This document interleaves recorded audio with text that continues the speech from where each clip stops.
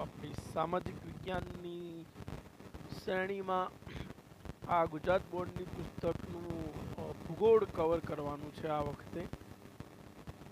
હમણાં જ નવી, બે હજાર બાવીસમાં નવી પુસ્તકો આવી છે ગુજરાત બોર્ડની. જેમાં ભૂગોળનો અભિગમ થોડો બદલાયો છે. ઘણા ચેપ્ટર એવાના એવા છે, ઘણાનો અભિગમ બદલાયેલો દેખાય છે. આ જીસીઆરટીમાં એમને ભૌતિક ભૂગોળના ઘણા ચેપ્ટર્સ અને પર્યાવરણીય ભૂગોળના ઘણા ચેપ્ટર્સ એડ કરવાનો કર્યા છે અને આ જે એક સારો અભિગમ છે, તો આપણે એનો કવર કરવાનો પ્રયાસ કરીશું અને આખી ભૂગોળની છથી દસ સુધીની પુસ્તકોમાં આવતું ભૂગોળને કમ્પાઇલ કરીને, જૂની અને નવી પુસ્તકોને કમ્પાઇલ કરીને આપણે એક કોર્સ બનાવવા જઈ રહ્યા છે આ યુટ્યુબની ચેનલ પર. તો તમે જોડાઈ રહેજો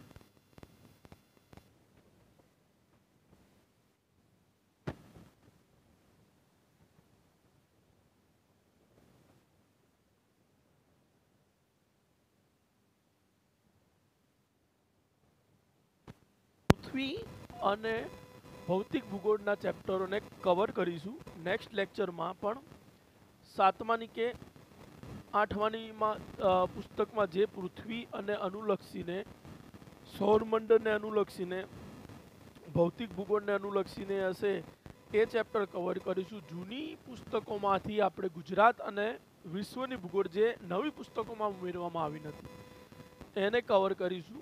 આ નવી પુસ્તકમાંથી ભારતની ભૂગોળને કવર કરીશું. તો આવી રીતે આપણું કમ્પાઇલેશન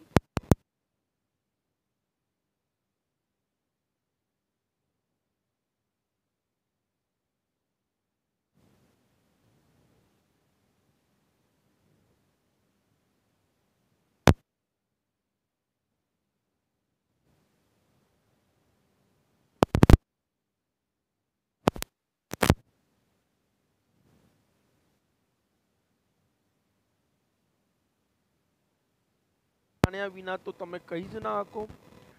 સૂર્યમંડળ કેમનું બન્યું હશે એના અલગ અલગ સિદ્ધાંતો છે. સૌથી સ્વીકૃત સિદ્ધાંત છે બિગ બેંગ થિયોરી અને અ, જોર્જ લિમિટ્રીએ તેને આપી છે અને બ્રહ્માંડનું વિસ્તરણ થાય છે. એ પણ હજી હકીકત છે. તો એના ભાગરૂપે સોલાર સિસ્ટમને આપણે જાણવાનું છે. આપણો જે સૂર્ય છે એ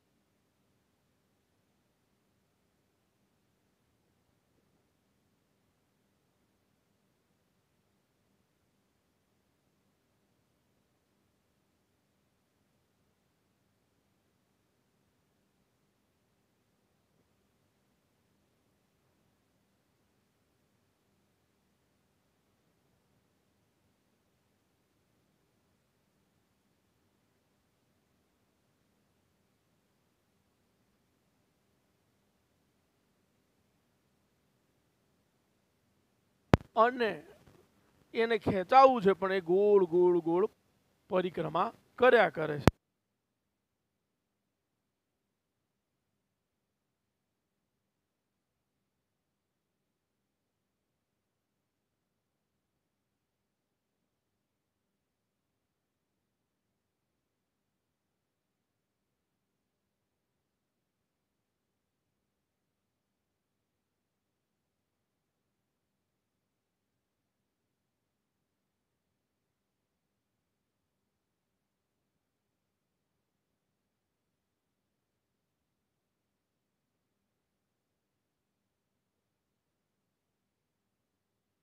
પૃથ્વી પોતાની ધરી પર પણ ફરે છે.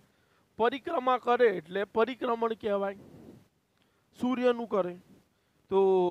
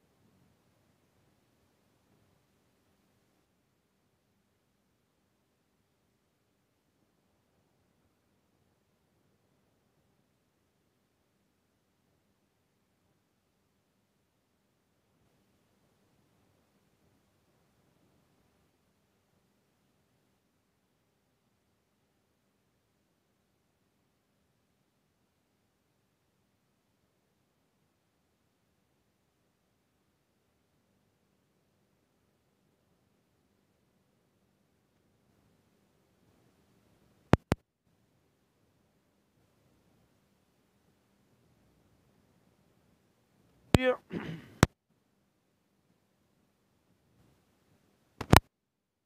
તો સન્માનિત તારો છે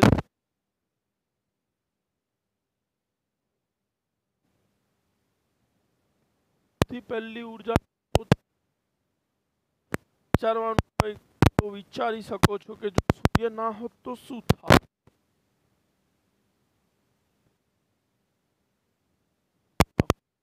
તે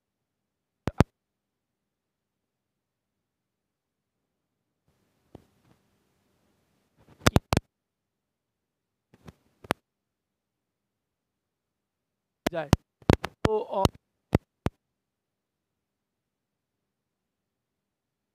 એક અભિગમ છે કે સૂર્યનો આકાર કેટલો મોટો કહી શકે સૂર્યનું પૃથ્વી કરતાં અઠ્યાવીસ ગણું વધારે છે. તો આ એક ડેટા પરીક્ષામાં પૂછાય એવો છે. તેર લાખ ગણો મોટો છે. એનું ગુરુત્વાકર્ષણ બળ અઠ્યાવીસ ગણું વધારે છે.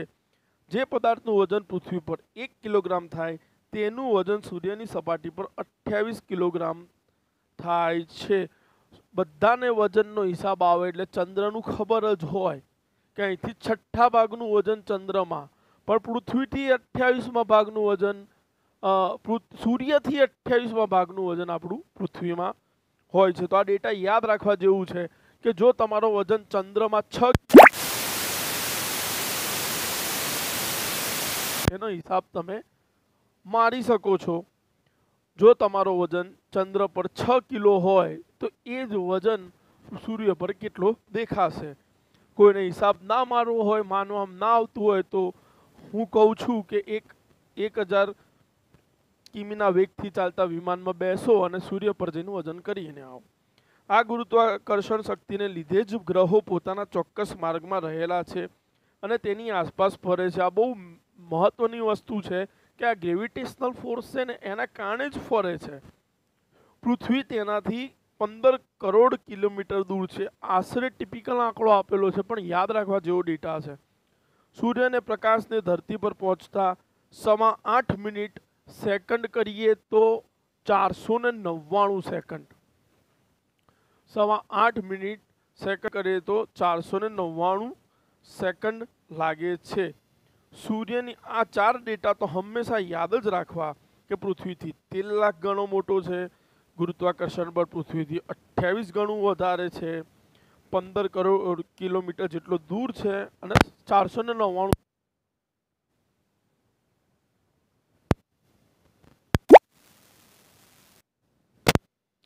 સૂર્યની સપાટી હંમેશા અસ્થિર રહે છે. બહુ વિચારવા જેવી વસ્તુ છે. કેમ આવું થતું હશે?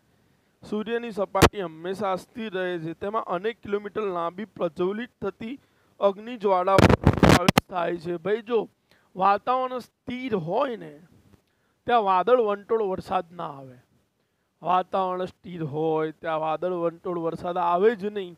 જેમ કે આપણી પૃથ્વીની વાત કરીએ, આપણા વાતાવરણની વાત કરીએ, તો આપણું પહેલું જે આવરણ છે, એને કહેવાય છે શોભ આવરણ આશરે સોળ કિલોમીટરની ઊંચાઈ જેટલું હોય છે. ત્યાં જ અસ્થિરતા હોય, ત્યાં જ ઋતુ હોય, ત્યાં જ વાદળ વંટોળ હોય, શોભાવરણ પર જ. તો આમની પણ જે સપાટી છે, હંમેશા અસ્થિર રહે છે. કારણ કે જેવી અગ્નિ જ્વાળા ઉઠે, એવું તાપમાન બદલાય. સૂર્યનું મુખ્ય આવરણ હાઇડ્રોજન વાયુનું બનેલું છે. તેમાં હાઇડ્રોજન અને હિલિયમ વાયુની પ્રક્રિયાથી પ્રકાશ અને ગરમી ઉત્પન્ન થાય છે, જેને આપણે ઊર્જા કહીએ છીએ. આ વસ્તુ વિચારવા જેવું છે. ઉષ્મા એટલે શું? ઊર્જા એટલે શું? હાઇડ્રોજન અને હિલિયમના રૂપાંતરથી જ ઊર્જા ઉત્પન્ન થાય છે. ઉષ્મા અલગ વસ્તુ છે, ઊર્જા અલગ, બંનેનું સ્વરૂપ તો એક જેવું લાગે. પણ હાઇડ્રોજનના હિલિયમના રૂપાંતરથી ઊર્જા, સૂર્ય આપણને આપ- આપે એને ઊર્જા કહેવાય. બરાબર છે? સૂર્ય આપણને આપે એને ઊર્જા કહેવાય. સૂર્યની સપાટી ખૂબ જ ગરમ છે. સૂર્યની ઉર્જાથી પૃથ્વી પર જીવસૃષ્ટિ વિકાસ પામી છે, તેથી સૂર્યને સજીવોનો પાલક તરીકે પણ ઓળખવામાં આવે છે. તો સૂર્યની સપાટી ખૂબ ગરમ છે. આપણે વાત કરી દીધી, એની બાહ્ય વિસ્તારનો ભાગ છ હજાર કેલ્વિનનો છે. એનું આંતરિક ઘરમાં એની ગરમી જદ્દો એક પોઈન્ટ પાંચ કરોડ સેલ્સિયસ જેટલી. એટલે એ તો ગરમ જ રહેવાનું અને એના કારણે જ બધી સૂર્યઘાત મળે અહીં અને સૂર્યઘાત વિના કોઈ બી કોઈ બી વસ્તુ પૃથ્વી પર શક્ય નથી.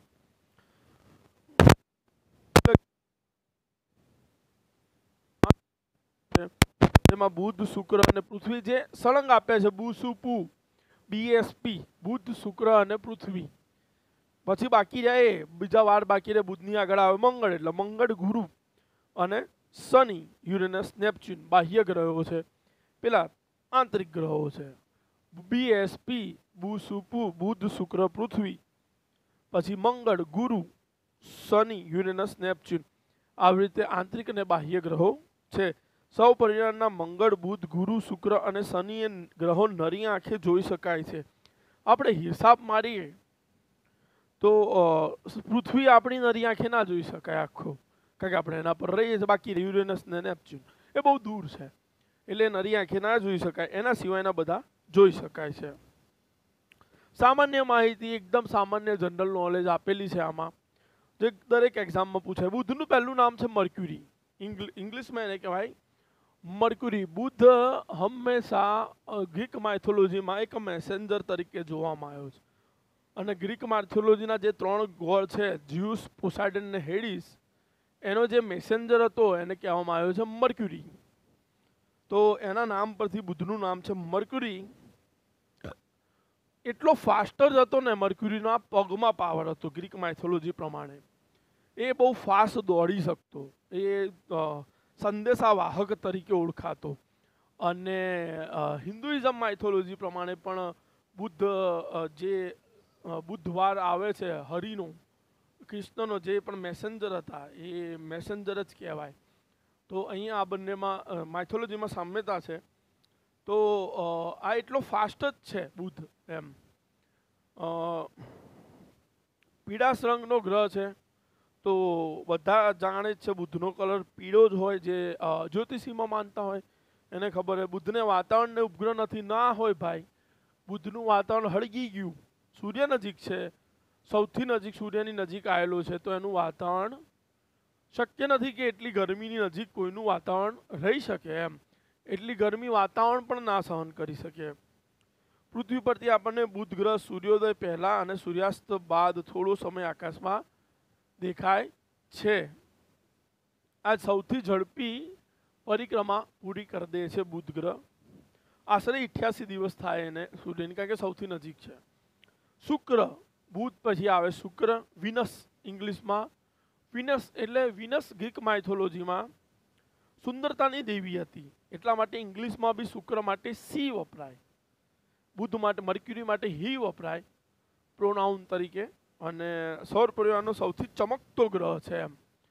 તો સુંદરતાની દેવી હંમેશા ચમકતી હોય છે. હિન્દુઇઝમ માઇથોલોજી પ્રમાણે શુક્રવાર એ હમે બુધ પછી શુક્ર આવ્યો જેવી રીતે બુધ હરિનો હોય, હરિ કૃષ્ણ, એવી રીતે શુક્રવારે લક્ષ્મીનો હોય એમ. તો એમાં માઇથોલોજીકલ સેટ થાય છે આ બંને વસ્તુ. તે કદ અને વજનમાં પૃથ્વી જેવો જ છે. જાણે કે પૃથ્વીની બેન હોય એમ. જાણે કે પૃથ્વીની બેન હોય. જાણે પૃથ્વીનો જોડ્યો ભાઈ હોય એમ. તો તમે વેસ્ટર્ન કન્ટ્રીમાં એ લોકો બેન કહે છે. આપણી ચોપડીમાં એને ભાઈ કહે છે. તે ચળકાટમાં ચંદ્રને મળતો આવે છે. આ અગત્યની વસ્તુ છે. કારણ કે સૌથી તેજસ્વી છે. સુંદરતામાં આ લોકો ગ્રીકમાં અને સુંદરતાની દેવી કહે છે. અને આપણે ચાંદની વાત કરીએ તો ચંદ્રની એટલે ચળકાટમાં એને મળતો આવે. તેને કોઈ ઉપગ્રહ નથી બુધને પણ નથી, ના જ હોય, સૂર્ય નજીક છે. સૂર્ય નજીક હોવાથી ગુરુત્વાકર્ષણ બળ વધુ છે એટલે એનો ઉપગ્રહ ના જ હોય એમ.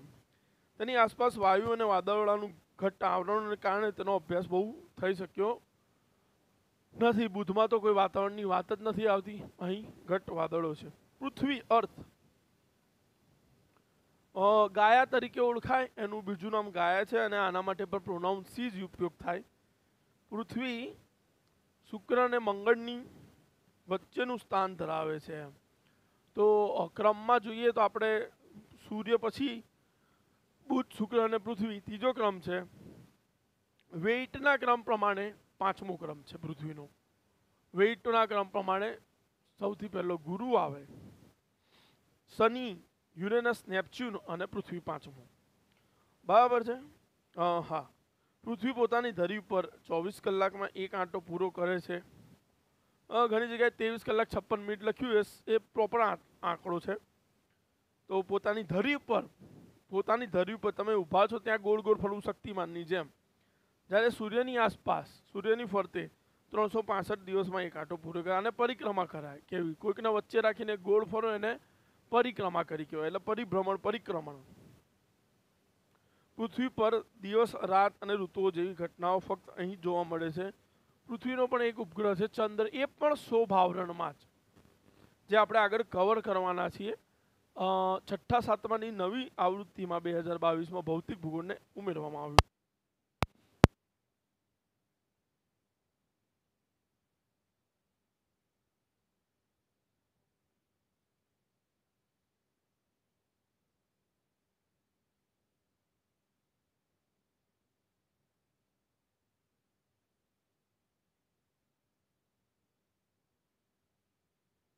વાત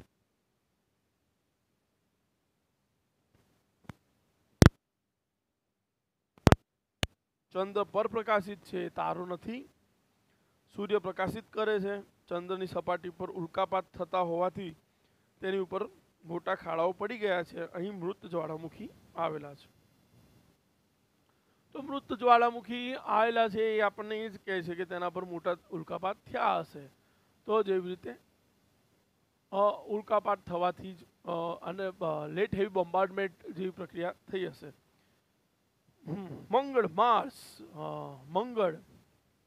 માર્સ એ સૈનિક છે સેનાપતિ છે ગ્રીક માઇથોલોજી પ્રમાણે. અને રક્તનો સેનાપતિ કહેવાય એટલા માટે હંમેશા લાલ જ હોય. તો લાલ રંગનો સુંદર ચમકતો ગ્રહ છે મંગળની વીંટી પણ લાલ રંગની હોય છે. મંગળને આછું વાતાવરણ છે તો મંગળ વાતાવરણ ધરાવે છે આછું. ઘટ્ટ વાતાવરણ તો નથી, એ તો શુક્ર પર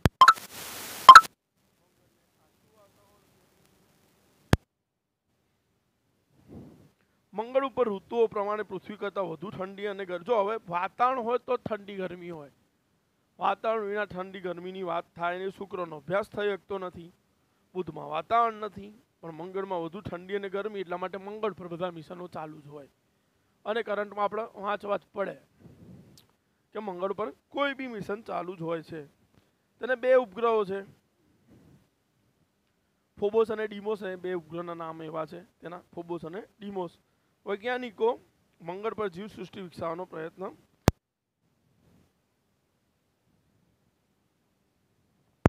ગુરુ પીરાસ પર તો સફેદ ગ્રહની ગ્રહ છે. તો જેનું ગુરુ પાકો, એનું ગણિત પાકું જ હોય. જેના દેહનો સ્વામી ગુરુ હોય. અને એનો કલર યલો જો એના એના એના મણીને જ્યોતિષીમાં પોખરાજ કહેવાય છે એમ. ગુરુની આસપાસ વાયુનું વાતાવરણ છે. હવે ગુરુમાં પણ વાતાવરણ આવ્યું. આપણે આ એનાલિસિસ કરવાનું છે કે ક્યાં વાયુનું વાતાવરણ છે. આ ગ્રહ ખૂબ ઠંડો હશે એવું મનાય છે. તો, તે સૌરમંડળનો સૌથી મોટો ગ્રહ છે તો સૌથી નાનો અને સૌથી પહેલાં પ્લુટો નાનો હતો. પ્લુટો ગયા પછી બુધ નાનો થઈ ગયો. હવે સૌથી મોટો ગ્રહ તો ગુરુ જ છે હંમેશા. ગુરુ પછી શનિનો નંબર આવે છે. ગુરુને સેવન્ટી નાઇન ઉપગ્રહો છે. સૌથી વધુ ઉપગ્રહ ગુરુને છે. જેમાં પણ વૈજ્ઞાનિકોમાં મત મતાંતર છે. આ ભીમકાય ગ્રહને દૂરબીનથી જોતા ટપકાવાળી સપાટી મનોહર લાગે છે. લાગતી હશે.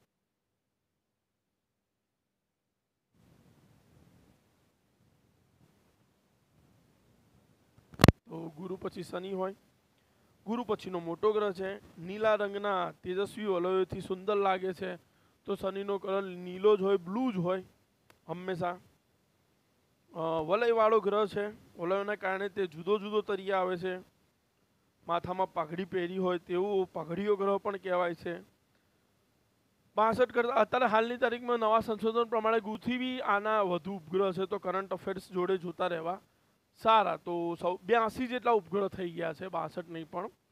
બ્યાસી જેટલા ઉપગ્રહ થઈ ગયા, સૌથી વધુ ઉપગ્રહ શનિના થઈ ગયા છે. સૂર્યથી દૂર હોવાના કારણે તેની સપાટીનું તાપમાન ઓછું છે. તો જેમ જેમ દૂર જાય એનું સપાટીનું તાપમાન ઘટતું જાય. યુરેનસ. તો દેખાતો નહીં ભાઈ. હા. તમે યુરેનસ, નેપચ્યુન અને પૃથ્વીને નરી આંખે ના દેખી શકો. તો વિલિયમ હર્સ નામના ખગોળશાસ્ત્રીએ સેવન્ટી એટી વનમાં ઠંડો જ હોય ભાઈ. કારણ કે જેમ જેમ દૂર જાઓ, એમ એમ એ ઠંડો થતો જાય.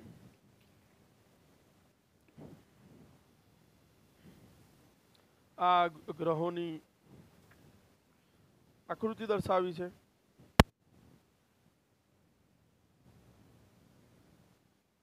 રંગનો ગ્રહ છે. આ પૂછાઈ ગયેલો પ્રશ્ન ભાઈ. લાલ, લીલો, પીળો, નેપચ્યુન, લીલા રંગનો ગ્રહ છે ભાઈ. અને લીલો એટલે જ છે કારણ કે એમાં મિથોન, મિથેન નામનો ઝેરી વાયુ છે. અને કંઈ હોય જ નહીં ઋતુ પરિવર્તન. સૌથી દૂરનો ગ્રહ છે.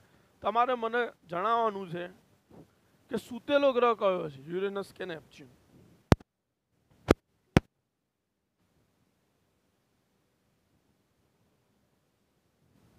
ઉલ્કા.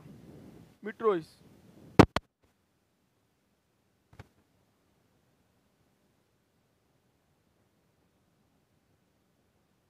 પથ્થરના નાના નાના ટુકડાઓ તમારી પથરી. એવા જ પથ્થરના ટુકડા. જો ગ્રીક માયથોલોજીમાં એવું કહેવાયું છે કે જે પથ્થર હતો ને પથ્થર, એને કહેતા પ્લાસ અને પૃથ્વી હતી ને એને કહેતા હતા ગાયા. જેની અંદર પૃથ્વીના આવરણ, એ બંનેના સમાગમથી ભગવાન પેદા થયા અને ભગવાનના વંશજ બધા બન્યા એમ. કહેવાની વાત છે, બૌદ્ધિઝમ એમ કહે છે કે જેનામાં ચેતાતંત્ર હોય એ સજીવ, જેનામાં ચેતાતંત્ર ના હોય એ નિર્જીવ. તો તમે મશીનમાં મગજ બી બનાવી લો પણ ચેતાતંત્ર નહીં બનાવી શકો એમ. એટલે એ નિર્જીવ જ કહેવાય, ગમે તેવા રોબોટ ઊભા કરો તો. તો ઘણા લોકો ઘણા બૌદ્ધિઝમમાં પણ એવું માને છે કે જે પેલા હતા, હાલ નિર્જીવ છે, એનામાં ચેતાનો વિકાસ હતો જે તે સમય ત્યારે એ સજીવ હતું. જેનામાં ચેતાનો વિકાસ નહોતો, એ નિર્જીવ હતું. કાલ ઉઠીને તમારી ચેતા મૃત થઈ જાય તમે નિર્જીવ થઈ જાઓ. અને કોઈક બીજું પ્રાણી, વનસ્પતિ કે નિર્જીવ વસ્તુ પણ સજીવ થઈ શકે છે. આવા બધા તર્ક વિતર્ક હંમેશા વિજ્ઞાનમાં રહ્યા છે. તો આ એ જ બધા નામો આવે છે કે જે ગ્રીક માયથોલોજીના ભાઈ ભગવાન. તો તારા ખરતા જ નથી. નાના નાના ટુકડા જ હોય હંમેશા. પથ્થરની ઉત્પત્તિ બહુ પહેલાં થયેલી છે. એના માટે તમારે ભૂગોળ બહુ ડિટેલમાં વાંચવું પડે. અગિયારમાની બુક પણ વાંચો છો, ખડકોની ઉત્પત્તિ કેટલી, કેવી રીતે થયેલી છે. જે પૃથ્વી નજીક આવતા ગુરુત્વાકર્ષણ બળના લીધે પૃથ્વી તરફ ખૂબ જ ઝડપથી ખેંચાઈ આવે છે. આપણે ન્યૂટન દાદાની વાત કરી. કે સફરજન નીચે એમના માથા પર જ પડેલું. એવી રીતે આ ફરશે નહીં ગોળ ગોળ. અને બે બળ લાગુ પડે. એક તો ગુરુત્વાકર્ષણના કારણે પૃથ્વી પર નીચે આવે. અને બીજું, હવે ઘર્ષણ બળ લાગશે જ, એટલે હળગી જાય. તો આ વખતે જે તેજ રિસોર્ટો દેખાય છે, તેને આપણે તારો ખર્યો એમ કહીએ છીએ. તો જે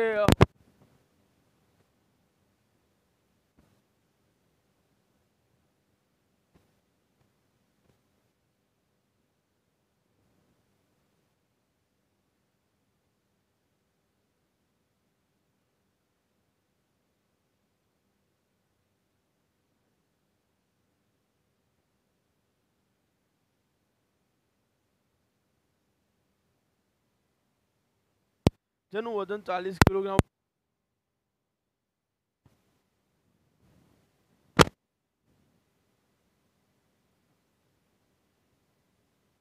હવે નક્ષત્ર કેવું હોય? કે તારાને પણ તમે નક્ષત્ર કહી શકો. કે તારાના વિશાળ સમૂહને પણ નક્ષત્ર કહી શકો. કેટલાક તારાના સમૂહને કારણે તેને ચોક્કસ આકાર તૈયાર થાય છે. ક્યારેક હંસ જેવો, તો ક્યારેક ગરુડ જેવો. તો આ તારાઓના આટલા સમૂહ છે. એનો આકાર હોય. એના નામ આ રીતે કુલ સત્યાવીસ નક્ષત્ર છે. અશ્વિની, રેવતી, વિશાખા, આવા બધા. આકાશમાં ચંદ્રની આસપાસ બે ત્રણ નક્ષત્રો ઓળખવા ચંદ્રને જોતા રહેવું પડે હંમેશા. નક્ષત્રોને યાદ રાખવા મુશ્કેલ છે, પરંતુ વારંવાર જોવા અને સમજવાથી યાદ રહી જાય છે.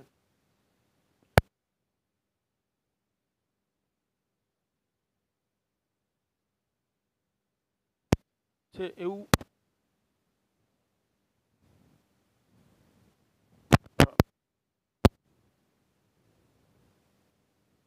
માં પૃથ્વીનું સ્થાન અને આકાર નામનો ટોપિક આપણે નેક્સ્ટ વિડીયોમાં જોઈશું.